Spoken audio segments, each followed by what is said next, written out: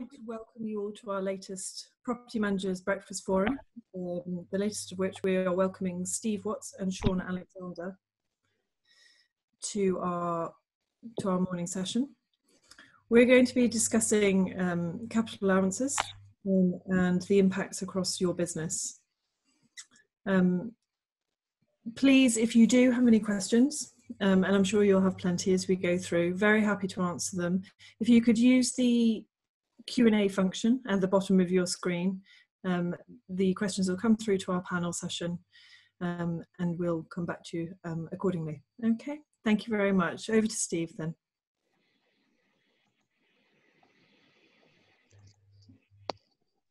Thank you, Isabel. Uh, I'm Steve Watts. I'm a tax partner in BDO's real estate and construction team specialising in capital allowances. I'm pleased to be joined by Sean Alexander, a member of my team as well today. Sean and I are both chartered surveyors and specialise in capital allowances. With our property backgrounds, we understand buildings and construction together with tax legislation and advise clients on maximising capital allowances available for property related expenditure. Uh, next slide, please. Over the last few years, there has been some major changes to the UK capital allowances rules. These have been the most significant changes since 2008 which saw the withdrawal of industrial buildings allowances and the introduction of two separate categories of plant and machinery allowances with different rates of writing down allowances for the first time. With property owners and occupiers currently reviewing their property portfolios and requirements, it is important to be aware of the tax allowances and incentives available. In this session today, we're going to provide a brief overview and update on capital allowances and in particular focus on structures and buildings allowance and other reliefs to enhance cash flow through tax savings and repayments and some of the practical implications to, to consider. And at the end, we'll have some time for some question and answers, so please post any questions and we'll come back to them at the end. Next slide, please, Sue. So when, when are capital allowances relevant? Well, capital allowances can provide substantial tax savings or repayments for property related expenditure and are relevant throughout the life cycle of a property. This can be in relation to the construction or fitting out of a new building, the alteration or refurbishment of an existing building, and the acquisition and disposal of property.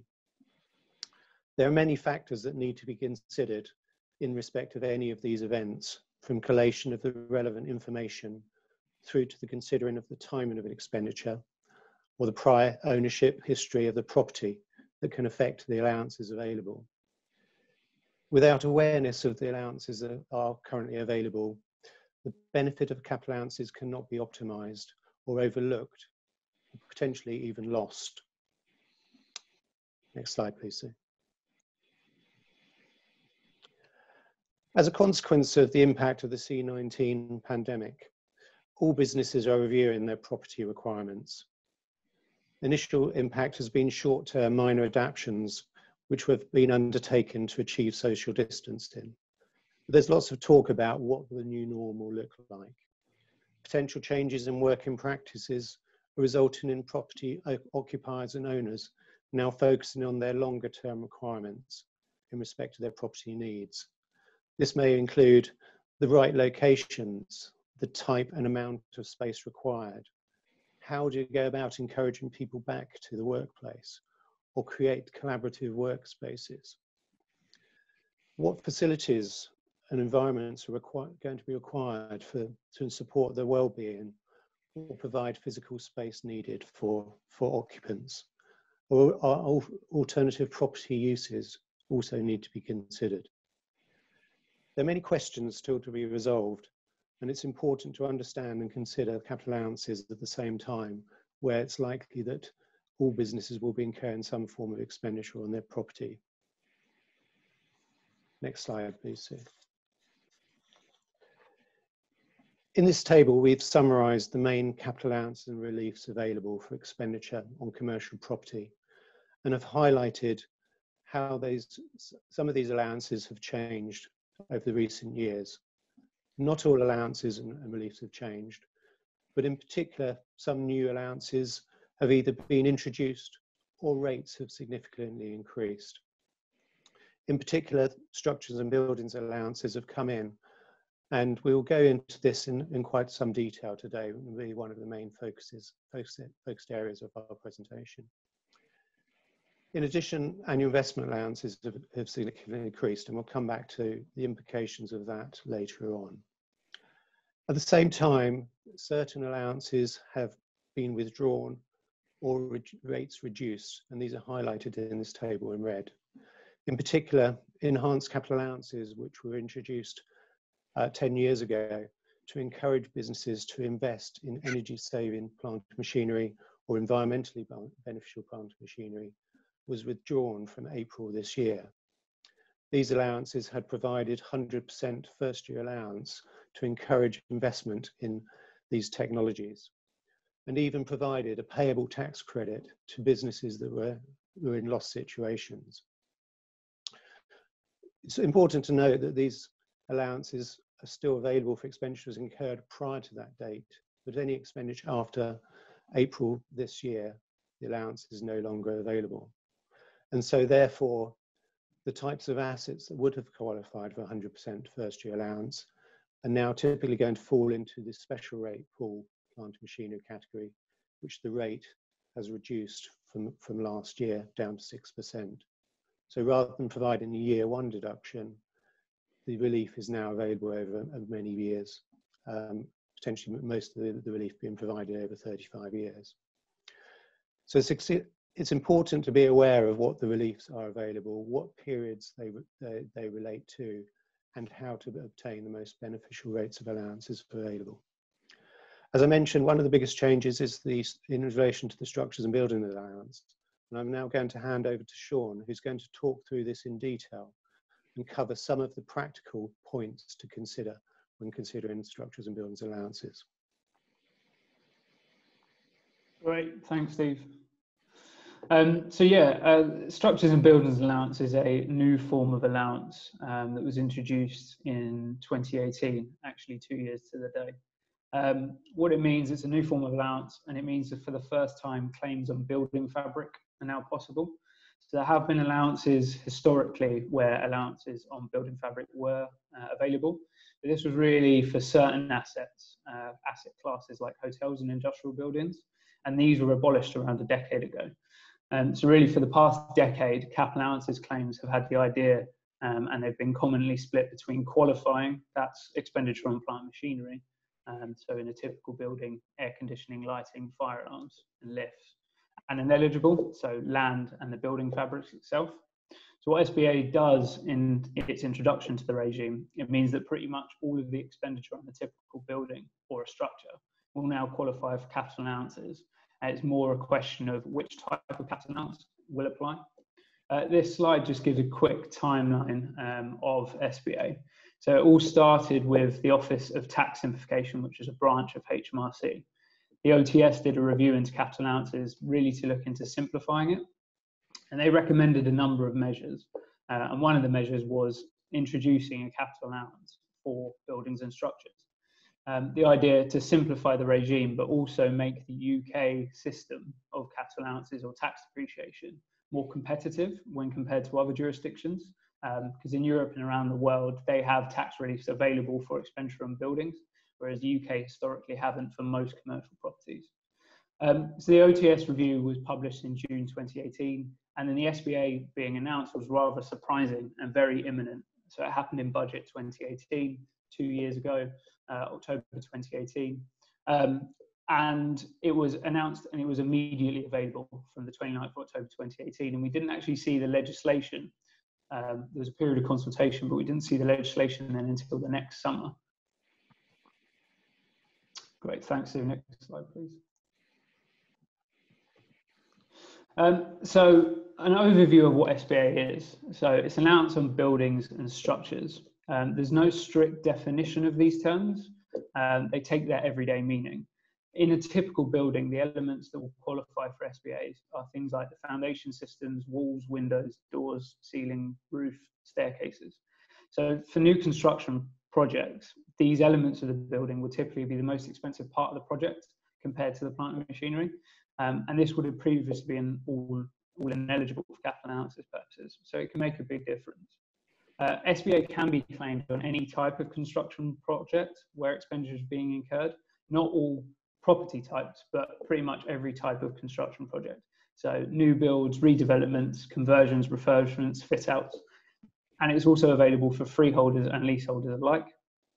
It can also be available for not only when you're spending money um, on a building, on a, on a project, but also for acquisitions. Uh, but they're slightly more complex and there's uh, different forms of methodologies and basis for these, which I'm going to come back to shortly.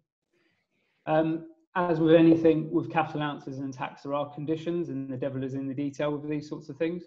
Um, so it is only for, like other, uh, other capital allowances, it is only available for non-residential buildings. Um, so it doesn't include houses, flat complexes, student accommodations, and other buildings with dwellings don't qualify as well. That doesn't include hotels and care homes, however. Also, like other forms of capital allowance, there still is no um, form of relief for land acquisition costs or land remediation works or um, landscaping as well. But anything else in terms of the building or structure um, can qualify. Uniquely as well, it can be claimed on both UK and overseas buildings if the claimant is a UK taxpayer. There's also a big emphasis and a big requirement on evidence, and I'll cover this in the next slide of why evidence is so important with SBA. Another big consideration is timing. Um, with SBA, uh, it's only available where the contracts are entered into on or after the 29th of October 2018. And the type of contracts we're talking about is physical works in the course of construction, so spade in the ground type of things. We're not talking architect fees, professional fees. Big thing on timing as well is SBA is only available when a building is brought into use. So for a typical property investor, this is when the building is let, whereas for an occupier, it's actually when they start using their space that they've let. So how is SBA claimed? SBA expenditure, like other capital allowances, is pooled uh, and then it's claimed straight line. But uniquely with SBA, uh, it's not pooled within one central pool. You need to create a SBA pool for each and every property and each and every project that SBA is claimed on. Originally, when it was first announced, it was meant to be 2% over 50 years. But from April 2020, this has been increased to 3% just over 33 years. Uh, how it interacts with the current regime is it slots quite nicely into the capital allowances legislation.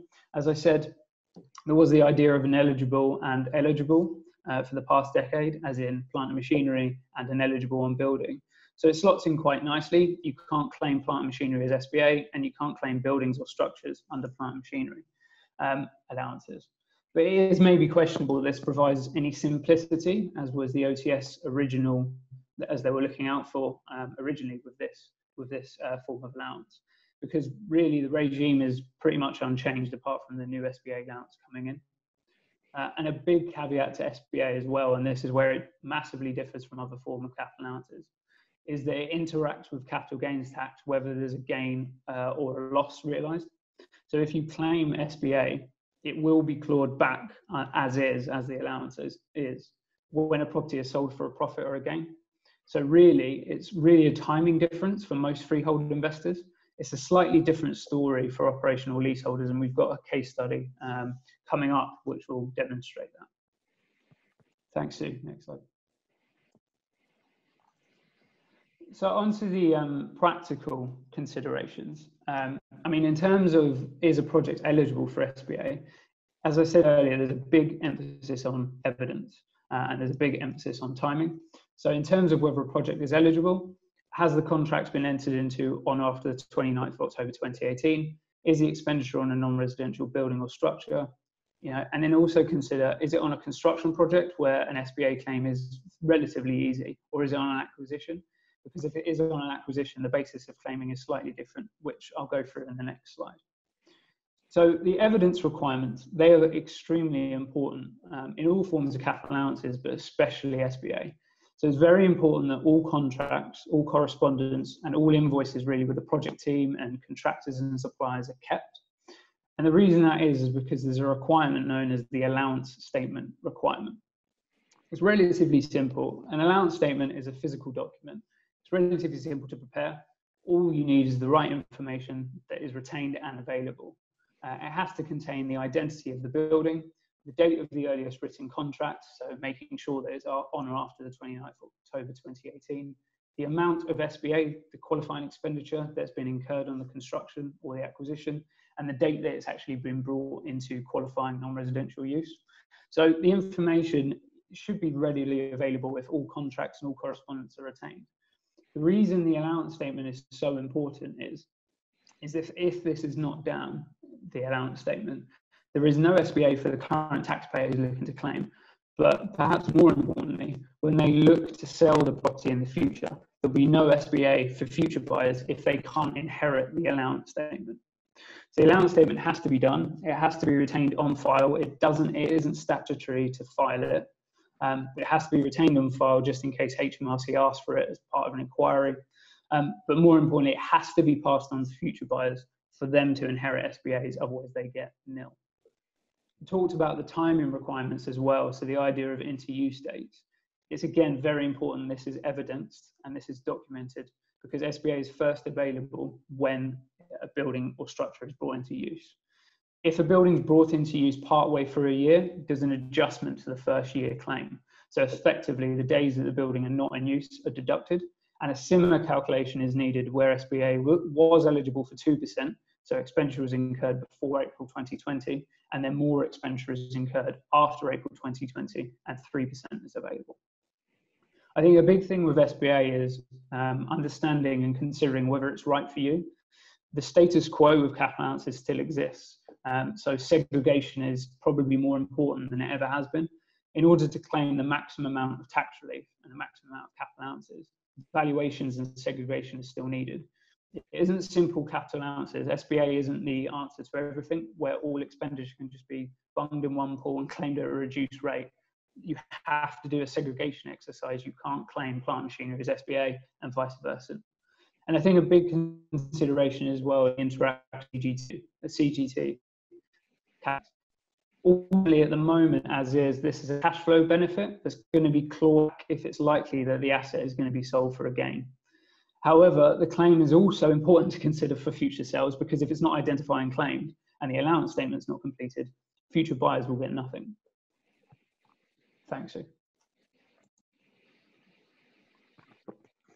So I talked about earlier how about there's different different basis for claiming on acquisitions.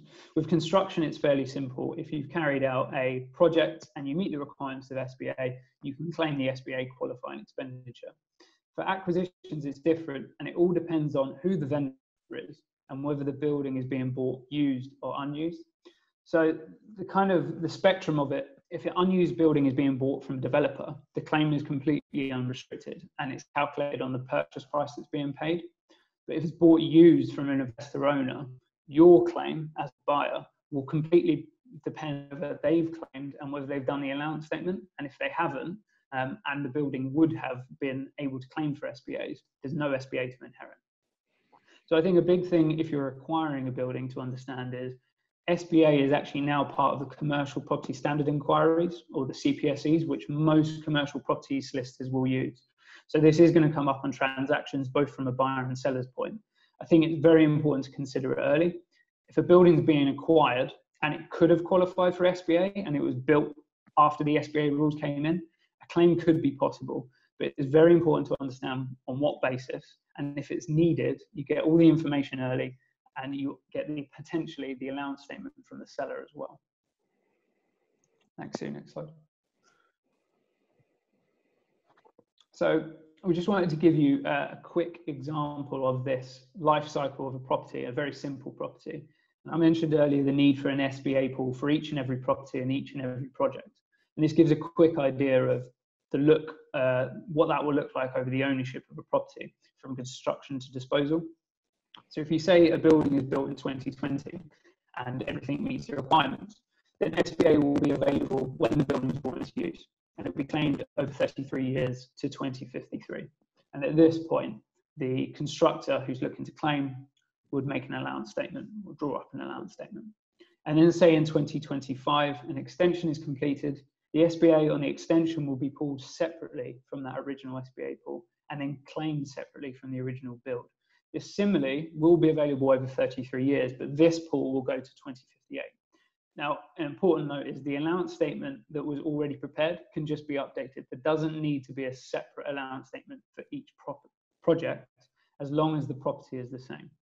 So then in 2030, let's say the building is sold, well, the seller will can pass the allowances to the buyer and the, both them SBA pools will move across to the buyer to continue to be claimed until 2053 and 2058 respectively. And then if that buyer then incurs additional expenditure, they'll just continue more SBA pools, create more SBA pools, add to the allowance statement, and so on. Thanks. Uh, just wanted to go through some case studies as well with SBA. So I think this is a good example of how big a difference SBA can make, particularly on bigger projects. Um, so this is an ongoing project for us with a client that's um, carrying out an 80 million pound redevelopment of an office building in London so far we've done some valuation work for them and roughly 28.5 million of plant machinery allowances will be available and 37.5 of structures and buildings allowance.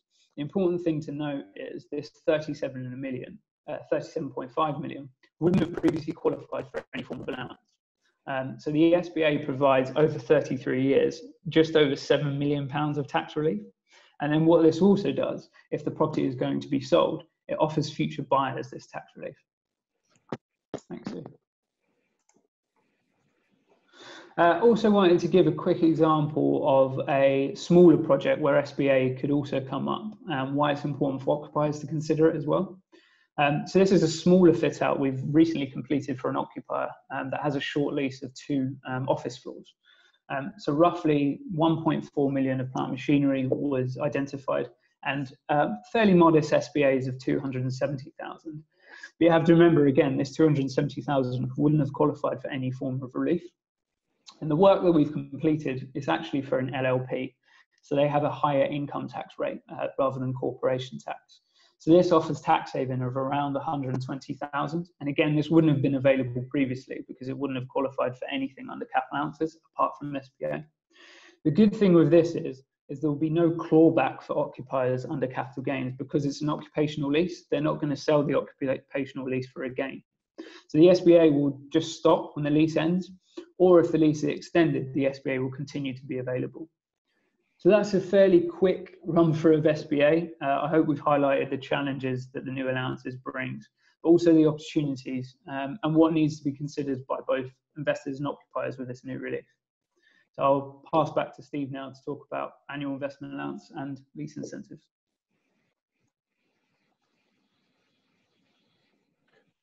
Thank you, Sean. Um, yes, it's going to pick up on a couple of the other areas to consider. Firstly, in relation to annual investment allowances, which we've seen some changes um, in the rates during the last few years, and uh, we're expecting another change at the end of this calendar year. Um, just as background, the purpose of annual investment allowances was to stimulate business investment by providing an increased incentive to invest in plant and machinery. And following the, the, initial introduction of annual investment allowance, we saw a number of years where the rate was constantly changing. And, and that was until the budget in 2015 when the annual investment was said to be permanently set at £200,000 per annum from 1 January 2016 that didn't really last very long and, and, and really as a consequence of the impact of Brexit um, and the, the, impact that was having on the economy, the government decided to introduce a temporary increase uh, in the rate of annual investment allowance of £1 million per annum for the periods 1 January 2019 to 31 December 2020. And what this uh, what this enhanced allowance would, would enables businesses to do is to write off any expenditure on plant and machinery up to the annual limit in the year in which expenditure is incurred. So it's important that um, companies would look to allocate the annual investment allowance in the most beneficial way. And that's typically to offset against the, the, the slower depreciating rate assets, such as assets that would generally qualify in the special rate pool at the current 6%. We are rapidly approaching the end of this temporary increase and there's been no formal announcement from the government yet as to whether there will be an extension to this temporary increase. the budget, um, the autumn budget that was expected to be, be an announcement was postponed to focus on issues around uh, the, the, the, pandemic and supporting businesses in that way. Um, but there were some rumours at the time that Chancellor may have been considering to have no annual investment limit, allowing all expenditure on plant and machinery to be fully written off for a period of time. However, this has not materialised, and therefore the annual investment allowance is likely to revert back to the permanent level of 200,000 per annum from the end of this calendar year. Next slide, please, Sue. Where a company has a 31 December year end, it's, it's relatively straightforward to work out what the annual investment allowance available for that period is. But where a company has a, a, a, a financial year that doesn't fall in line with the calendar year, it is necessary to calculate what the annual investment allowance for the, for the period would be. And this is, this is done by looking at the, the dates of the annual investment allowance in relation to the financial year. So in, the, in this example, we have a company that has a 30 June year end, and therefore for the year ended 31 June 20, sorry, 30th June 2021, the annual investment allowance for that year would be calculated as £600,000 in, in total, comprising 500,000 for the six month period up to 31 December 2020, and then a further 100,000 in relation to the six months for the, for the first six months of the following year. So although there's, there's an annual investment allowance available 600,000 for the year, another factor to consider is actually the timing of the expenditure. So if 500,000 is incurred on plant machinery up to 31 December, then that can all be offset against the annual investment allowance and a further 100,000 could be incurred in the following period. However, if no expenditure on plant machinery was incurred up to 31 December 2020 and the full 600,000 was incurred in the first six months of the, of the following year, then the annual investment allowance would be restricted to £100,000 only, and 500,000 would therefore fall into the normal writing down allowances at their respective rates. So it's very important to consider the timing of expenditure in relation to annual investment allowances. Um, there's a very short period of window left, but um, you know if there's any in, in, expenditure to be incurred before that date, then it's important it's incurred in, in the current calendar year. Next slide, please, Sue. Lease incentives and inducements is, is an important area not to overlook as well because the tax implications of providing or receiving incentives or an inducement to enter into lease of land can have tax consequences. These can take a number of different forms, such as a rent-free period, lease inducements, or form of capital contribution. And where a payment, where an inducement involves the payment of cash or the assumption of an existing liability in association with the grant of an interest in land, then this can be considered a reverse premium and taxable as a receipt on the recipient. However, where a payment is a capital contribution towards works to a property, there's also an interaction with the capital allowances rules that needs to be considered. This is in respect of both the, the contributor, typically a landlord, who will be entitled to claim capital allowances in respect of the contribution that's paid to the tenant. And also, secondly, in relation to the recipient, the tenant, who will have to deduct the contribution received from the capital allowances available. It's often common practice to include some form of allocation of this contribution within an, an agreement to lease. But with the changes to capital allowances available, it is now necessary to consider what the most beneficial allocation is being made and what the tax consequences of the allocation are, particularly now with the, the introduction of structures and buildings allowances, which brings in additional relief.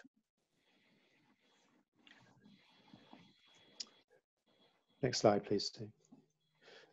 So in summary, we've provided an overview and update of the main capital allowances available and some of the practical complexities that, complexities that need to be considered. With property owners and occupiers potentially reviewing their properties and portfolios and making alterations or adaptations to existing properties, relocating premises, disposing or looking at alternative uses, it's important to bear in mind the capital allowance available and the potential cash flow and tax savings that need to be considered, both in terms of current projects or projects that have previously been carried out. So thank you very much for listening. And if you have any questions, please post them now and we'll be happy to take any questions that you have.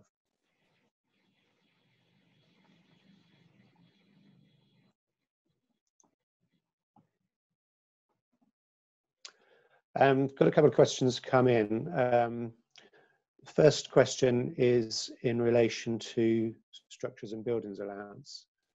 So the question is, if a property is pre-let, would that be the date to use for first brought into non-residential use for structures and buildings allowances purposes? Sean, would you like to? Thanks for passing that across, Steve.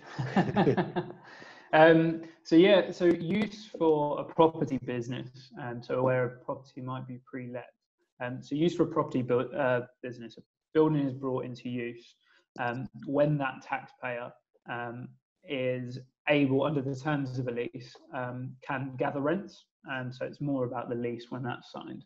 So I think uh, if a property is pre-let, um, that could be seen as the date that it's first brought into use under the legislation.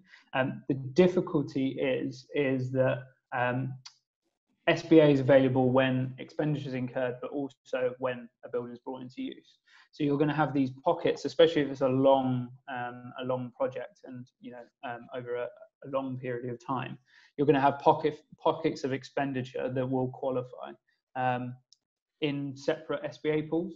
So the main consideration where a property is pre-let and then it's going to be a long project um, will be to make sure that simplicity is there. So an allowance statement is done. Um, and then under the legislation, there are simplicity um, parts of the legislation that allow you to roll over SBA pools so you don't have to keep creating them um, throughout time.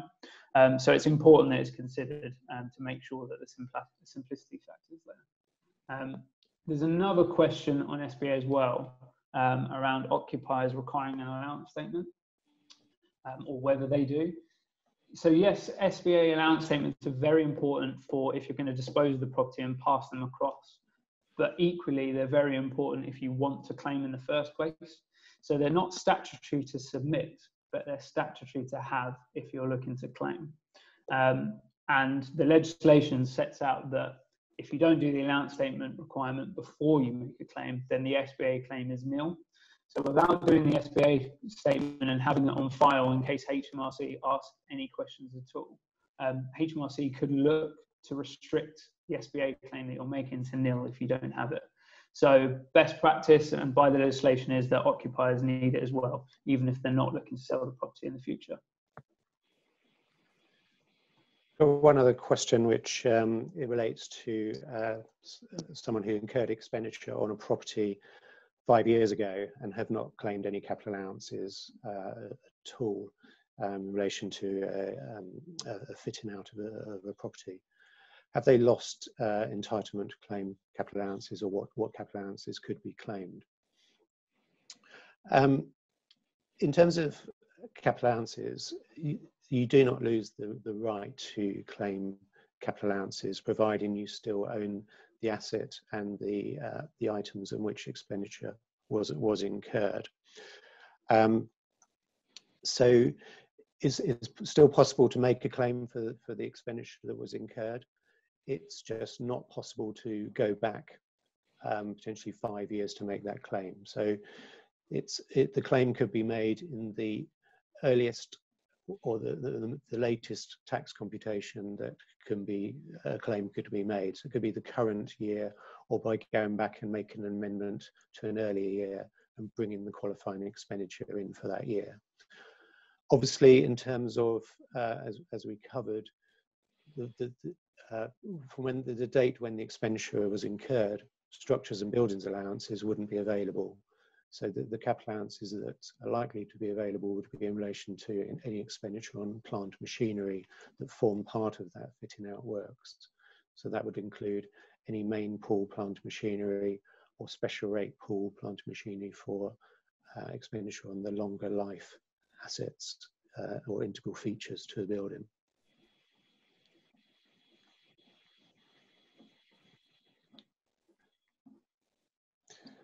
Um, one, one further question, um,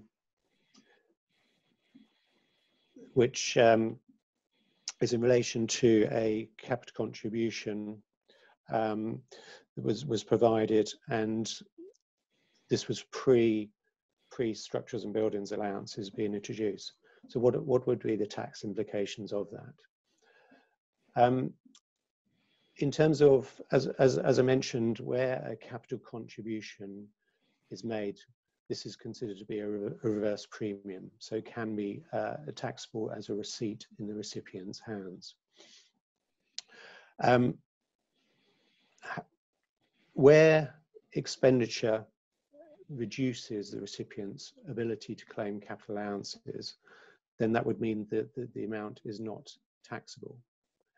However, any expenditure that was received that wasn't wouldn't be eligible for capital allowances. So as, as Sean had mentioned, prior to the SBA rules coming in, quite a lot of the expenditure was was was ineligible. Then that proportion of contribution received would be taxable as a receipt um, in the hands of the recipient and taxed as income over the period of the lease.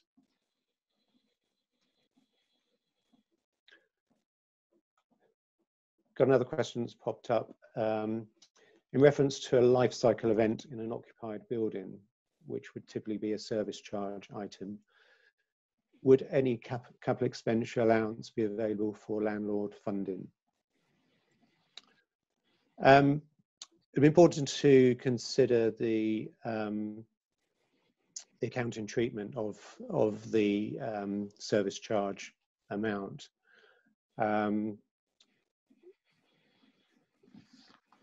because it would it depend on the nature of the, whether the expenditure is capital expenditure um, or is this being is this being funded by, through the service charge and therefore being met by by other parties? So it's not a it's not a straightforward question. Um, we need to sort of consider that one a little bit further. Is then, Sean? Do you have any comments on that question? So yeah, no, I suppose yeah, I agree that yeah, you'd have to consider whether it was RevX being met or whether it was CapEx. Um, another thing, I think, if it is landlord funding and it is capex, capital allowances could be considered um, under contribution allowances. But as Steve said, you'd have to consider the accounting treatment, whether it's definitely RevX or capex. Um, so yeah, it's a little bit of a little bit of a complex question to go over in a, a morning briefing. Um, but yeah, no, certainly it could be considered.